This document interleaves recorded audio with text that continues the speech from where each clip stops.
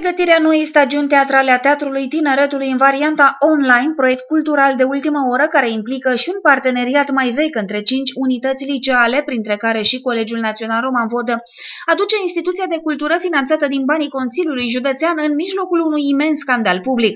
Este vorba de pregătirea premierei a trei piese de teatru premiate la un concurs teatral, una dintre acestea intitulată 98% decizia corectă de Andreea Tănase, promovând un limbaj de-a dreptul obscen.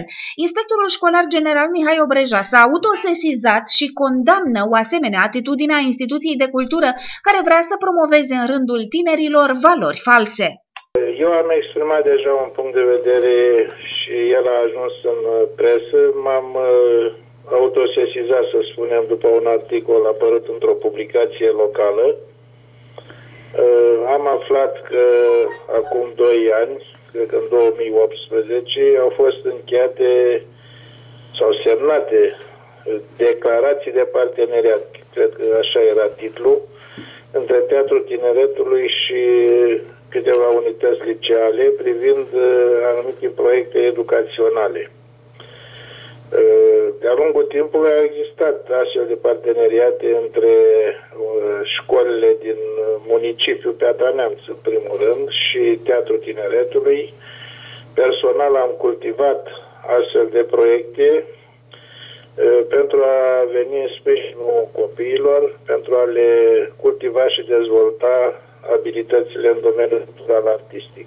Mai marele peste învățământul nemțean susține și în calitatea sa de director al Colegiului Național Petru Rareș că a susținut parteneriatele cu instituții de cultură, dar cele care promovează valori autentice, nu deviații comportamentale legate de un limbaj pe care și așa copiii îl folosesc între ei, așa numitul limbaj bulivardier argotic.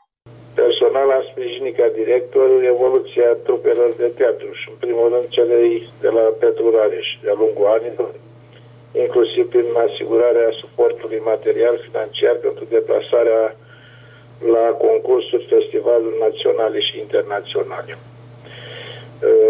De aici și până la proiectele educaționale sau proiectul educațional propus de Teatrul Tineretului prin acea declarație de parteneriat, însă e un drum mai lux sau un drum diferit, deci sunt lucruri diferite.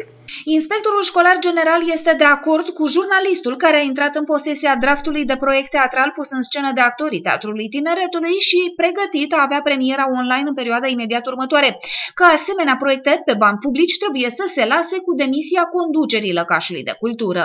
Dacă lucrurile stau așa cum au fost semnalate de presă, am spus foarte clar că sunt în total dezacord și nu voi sprijini absolut niciodată astfel de proiecte pentru că la adăpostul uh, unor așa numite proiecte educaționale se pot, uh, uh, deci la adăpostul unor scopuri sau obiective nobile, de punct de vedere educațional, se pot ascunde și lucruri care pot uh, aduce de servicii majore procesului educațional. Uh, noi avem obligația ca instituție de învățământ să cultivăm uh, principii, valori autentice. E responsabilitatea noastră, conform legislației în vigoare, mă refer la legea învățământului, la regulamentele pe care noi le avem, uh, să asigurăm un climat sănătos uh, de educație a copiilor. Inspectorul general Mihai Obreja susține că directorii celor trei colegii naționale care au acceptat semnarea unui asemenea parteneriat cultural au fost induși în eroare de conducerea Teatrului Tineretului și nu înțelege de ce nu s-a discutat cu inspectoratul școlar care coordonează activitatea școlilor din județ, inclusiv în domeniul activităților extrașcolare. Directorii de unități de învățământ cred că au fost induși un pic în eroare. Școala dezvoltă astfel de activități nu se desfășoară consiliere psihologică la Teatrul Tineretului sau ateliere de lucru privind textul dramatic doar la Teatrul Tineretului. Se întâmplă astfel de lucruri de ani și ani de zile în școli și cu rezultate foarte, foarte bune pentru copii. Adică școlile asigură cadrul necesar pentru dezvoltarea unor competențe culturale artistice în rândul elevilor.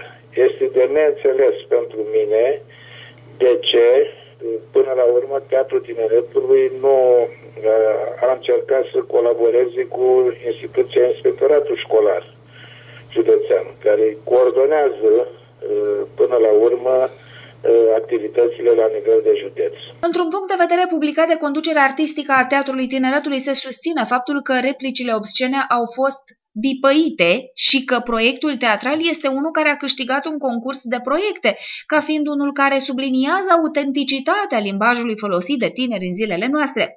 Se așteaptă reacția Consiliului Județean în ceea ce privește decizia de demitere a controversatului director al Teatrului Tineretului, Gianina Cărbunaru.